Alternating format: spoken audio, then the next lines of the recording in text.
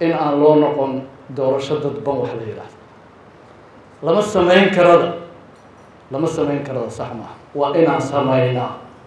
Si kale oo mushkiladda ooga bixi karna ma laha. Haddaanu shacabku helin fursad codkiisa uu ku bixiyo hoggaankiisana uu ku soo doorto meeshaas iyo meel ka liidata ayaynu taagnaanaynaa haybta siyaasadeed waa inay noqotaa hayb ku dhisan xisbi waa inay noqotaa suuragal ma aha.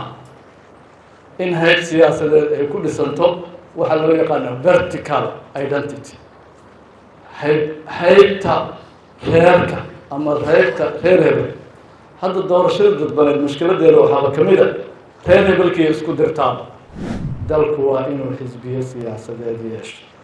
Anigana waan tajribada aan leeyahay waxaa waaye suuragal ma aha in qabiilkaaga uu noqdo xisbigaaga oo qabiilkaaga uu yahay qofka ku geynayo kursiga siyaasadeed ee siyaasadda lagu maamulo suuragal ma aha. Xaq arrinteenna siyaasadeed maanta meesha ay joogto waxay u baahan tahay go'aano adag oo mararka qaar u baahan dhiiranaan iyo kalsooni iyo karti u baahan. Oy ugu horeyso in aan loo noqon doorasho dadban wax la yidhaahdo lama samayn karada lama samayn karada sax maaha waa inaan samaynaa. Wax kasta oo dalkan ka jira maanta oo nala qurux badan maalinaa waxaa lalahay lama samayn karo. Waxaan soo gaaray aniga iyadoo magaalada aanu telefon jirin. Dadkuna sugayaan. Qaarkoodna mandela u safrayaan si telefon ay oga dirsadaan.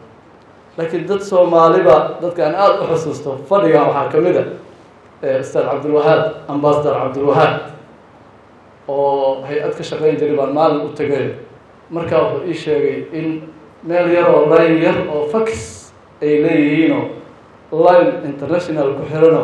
Marka meeshaa wuxuu dhahay markaad ka maarmi weyso yaad darsan kartaa daqiiqadiina afartan iyo sideed dollar waa.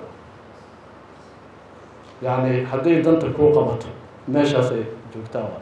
Dad soomaaliya yimid waa dhiiradeen go'aan ay gaareen maantana five g ayaa geed kasta oo soomaaliyeed hoos yaalla. Marka dadka soomaaliyeed waxaas ma samayn karaan inaan la dhih arrinta ku saabsan in lagu dhiirado dalkeena in laga sameeyo doorasho qof iyo cod. Nasiib wanaagna meelo dalkeena ka mid a wayba ka dhacday wayna ka dhacdaa somaliland baa kamida puntland ay ka dhacday. Lama samayn karada sheekadeeda inaan iska ilowno si kale oo mushkiladda ooga bixi karna ma laha. Haddaanu shacabku helin fursad codkiisa uu ku bixiyo hoggaankiisana uu ku soo doorto meeshaas iyo meel ka liidata ayaynu taagnaanaynaa nagamana yeeli doono shacabka soomaaliyeed inaan meeshaas sii taagnaano. Nagama yeeli doono. Wuxuu isoo xusuusiyey ambasador jamaal iyo hadalkiisa arrinta ku saabsan xisbiga. Siyaasaddu ma noqon karto. Wax lagu wado hayb qofeed wax lagu wado ma noqon karto. Ama ma noqon karto wax qof iyo dad iyo dad qof qof ah oo inta meel lagu soo xareeyo sida baarlamaankeena uu yahay.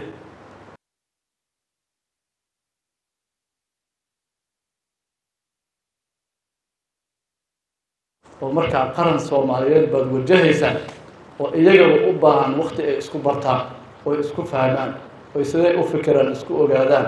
oo maxaa qof kasta qofka kale uu u arkaa inay mudnaan leedahay ay isku fahmaan afartii sanaaba ka dhammaanayso marka haybta siyaasadeed waa inay noqotaa hayb ku dhisan xisbi waa inay noqotaa. Suuragal ma aha in hayb siyaasadeed ay ku dhisanto waxaa loo yaqaana vertical identity. Hayb haybta reerka ama reerka reer hebel hadda doorashada dadbaneed mushkiladeeda waxaaba ka mid a reer hebelkiiya isku dirtaaba. Ilma adeertaaba isnacaysiin dadka kuraasta hadda kala qaadanayo oo isku riixayo oo isku dilayo oo is mashaakilka isku samaynayo waa intii casabada ahayd. Intii ilma adeerka ahayd marka qaarna intii isdhexli lahayd waayo. Si anta oga gudubna waxaan u baahannahay haybta xisbiga in la xoojiyo. Dastuurkaa qoraayo danta iyo maslaxaddaa keenayso wadajirkeennaa keenaayo wixii laga soo bartay b d b oo aniga iyo ambasador jamaal iyo madaxweynaha iyo aan ka mid ahay ururkeedii fulinta.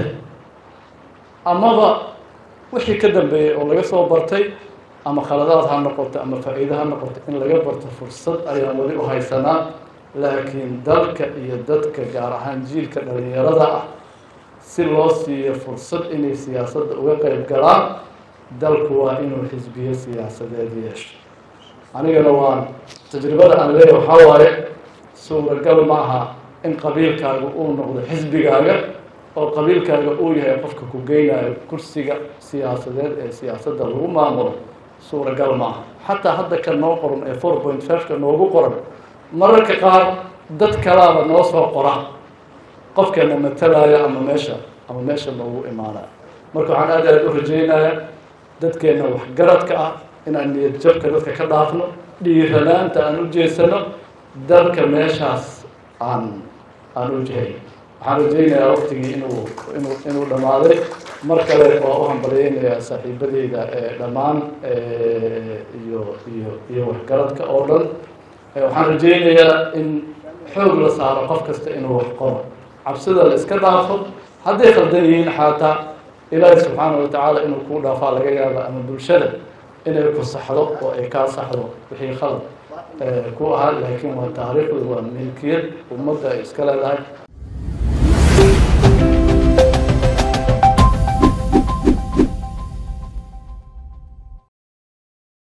Internet balas waa adeeg ay macaamiishu ka heli karaan internet fiber ah oo xawaarihiisu yahay labaatan megabytes per second ayna la socdaan rasiifar ay ku jiraan in ka badan afar kun oo kanaal iyo boqolaal daqiiqado oo ah ku hadal bilaash ah